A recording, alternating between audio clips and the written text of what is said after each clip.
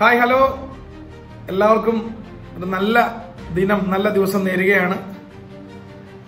So one one draw north ഈസ്റ്റിനെതിരായ സീസണിലെ ആദ്യ away മത്സരം കേരള ബ്ലാസ്റ്റേഴ്സിന്റെ തോറ്റില്ല.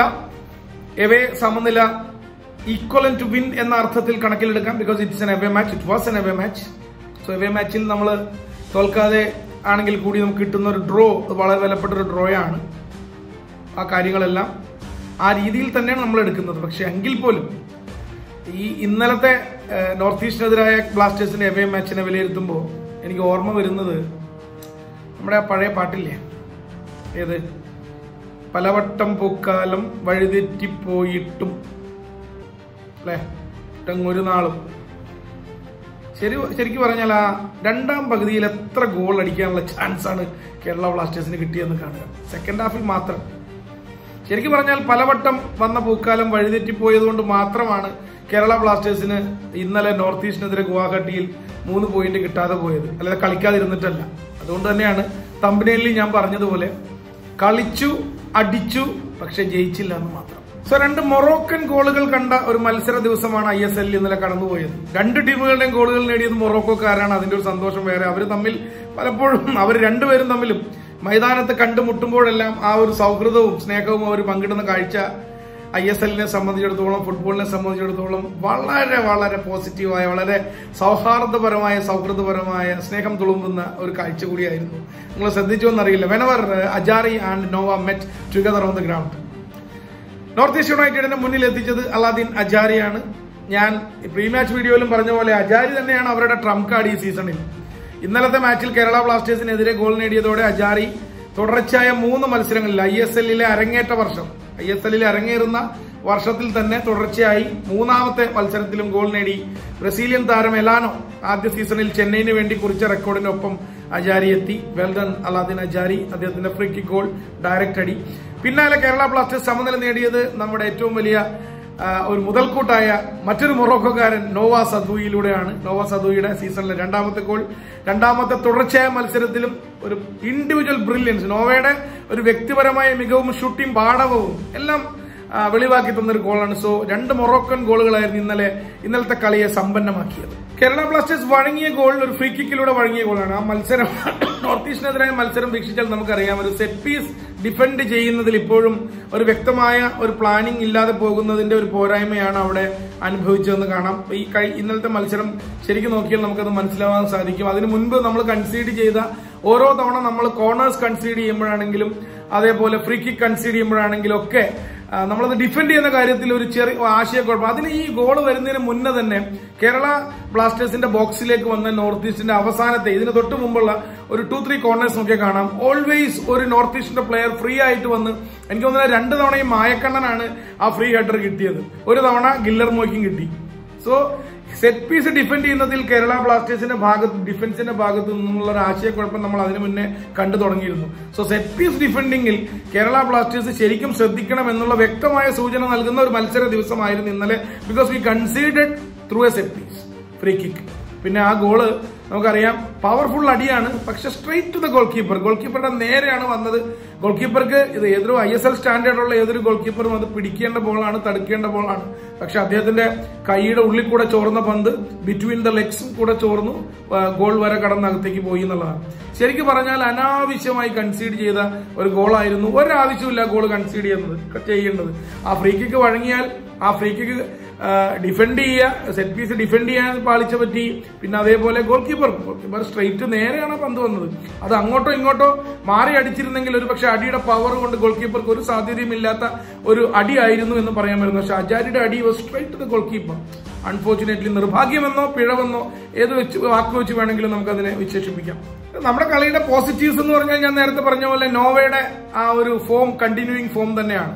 നമ്മുടെ ഏറ്റവും കേരള ബ്ലാസ്റ്റേഴ്സിന് ഈ സീസണിൽ ഏറ്റവും കൂടുതൽ പ്രതീക്ഷ നൽകുന്ന ഒരു ഘടകം എന്ന് പറയുന്നത് നോവ സദൂയി സ്ട്രൈക്കിങ്ങിൽ കളിക്കുന്നു എന്നുള്ളതാണ്. നോവ സദൂയി കളിക്കുന്ന മത്സരങ്ങളിലെല്ലാം നോവ സദുവിക്ക് ഇതേപോലെ ഗോളടിക്കാൻ സാധിക്കുകയാണെങ്കിൽ അത് കേരള ബ്ലാസ്റ്റേഴ്സിനെ സംബന്ധിച്ചിടത്തോളം ഒരു നല്ല ഒരു ഒരു സ്മൂത്ത് സെയിലിംഗിന് സഹായകമാകും. നോവയുടെ ഫോം ഇന്നലത്തെ മാച്ചിൽ നിന്നും കൂടെ നോക്കുമ്പോൾ നോവയുടെ ഫോം കൂടുതൽ കൂടുതൽ തിളക്കമുള്ളതായി വരുന്നു. പിന്നെ ഓഫ് കോഴ്സ് നമ്മൾ എല്ലാവരും കാത്തിരുന്നത് പോലെ കളിയുടെ എഴുപത്തി ഒൻപതാം മിനിറ്റിൽ പ്രിയങ്കരനായ നായകൻ അഡ്രിയാൻ ലൂണ ഒരുപാട് ഗ്യാപ്പിന് ശേഷം ആഫ്റ്റർ എ ലോങ് ഗ്യാപ്പ് അദ്ദേഹം കളിക്കാൻ ഇറങ്ങി കേരള ബ്ലാസ്റ്റേഴ്സിന് വേണ്ടി ഐ എസ് എല്ലിൽ.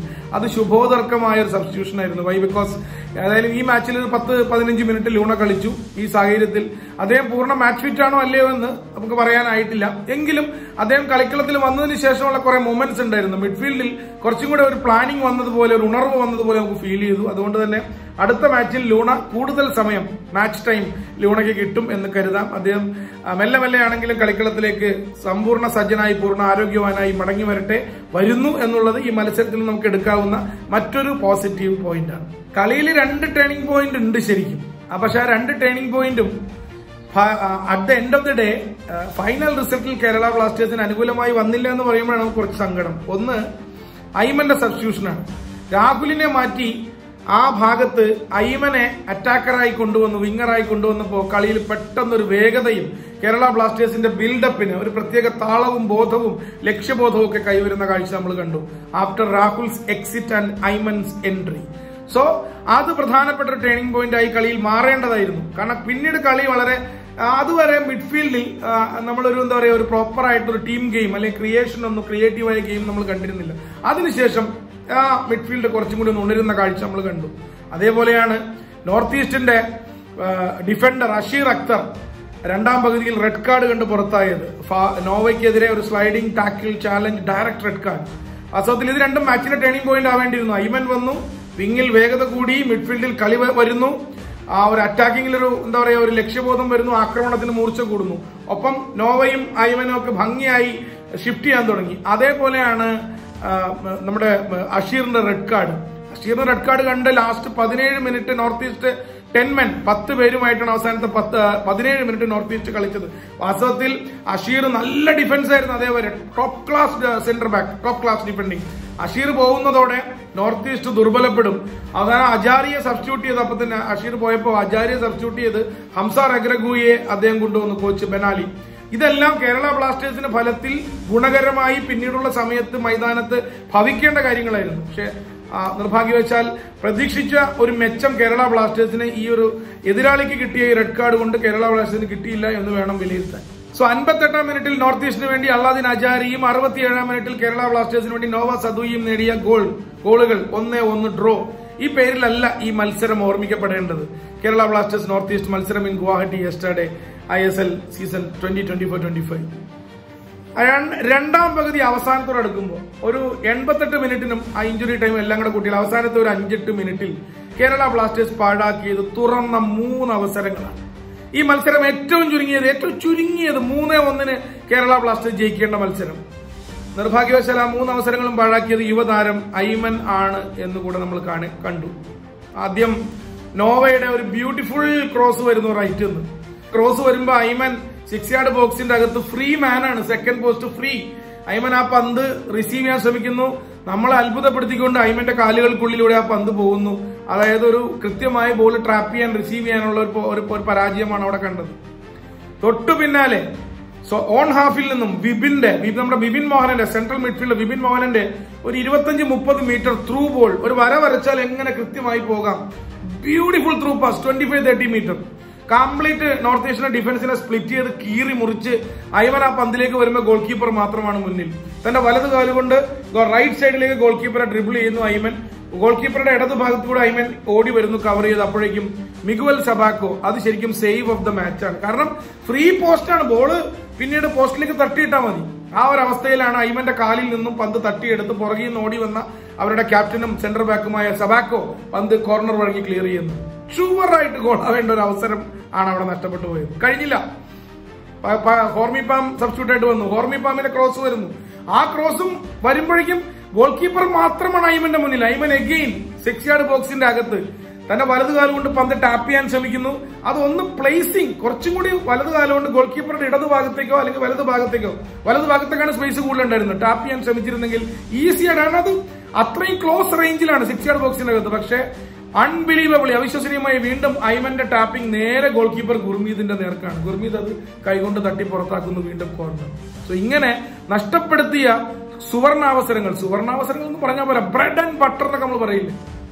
അത്രയും ചാൻസ് നഷ്ടപ്പെടുത്തിയ കേരള ബ്ലാസ്റ്റേഴ്സ് മൾട്ടിപ്പിൾ ഗോളിന് ജയിക്കേണ്ട ഒരു മത്സരം തന്നെയാണ് കടന്നുപോയത്. പക്ഷേ ഒന്ന് ഒന്ന് സമനില. Anyway we are happy with one point and this draw Kerala ബ്ലാസ്റ്റേഴ്സിന്റെ ഐ എസ് എല്ലിലെ അടുത്ത മത്സരവും എവേ മത്സരമാണ്. ഒക്ടോബർ മൂന്നാം തീയതി ഒഡീഷ എഫ് സിക്കെതിരെ. ഇതിനേക്കാൾ കുറച്ചുകൂടി കരുത്തരായ ഒഡീഷ എഫ് സിക്കെതിരെയാണ് കേരള ബ്ലാസ്റ്റേഴ്സ് അടുത്ത മത്സരം കളിക്കുന്നത്. ഒക്ടോബർ മൂന്നിന് ഭുവനേശ്വറിലെ കലി- കലിംഗ സ്റ്റേഡിയത്തിൽ ഒക്ടോബർ മൂന്നിനാണ് മാച്ച് നമ്പർ ഫോർ കേരള ബ്ലാസ്റ്റേഴ്സിന്റെ എവേ മാച്ചാണ് സോ ആ മാച്ചിന്റെ പ്രീ മാച്ച് വീഡിയോയുമായി കാണും വരെ. This is Shaiju off with love and respect you people take care